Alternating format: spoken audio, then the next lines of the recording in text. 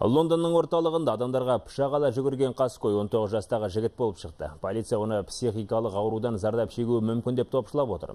Қаскүнемнің қолынан 6 адам жарақат алып, оқиға орнында бір әйел көз жұмды. Қалғаны ауруханада жатыр. Қаскөй қамауға алынған. Қазір ол да тергеу изоляторының ауруханасында. Тергеу амалдары жалғасуда.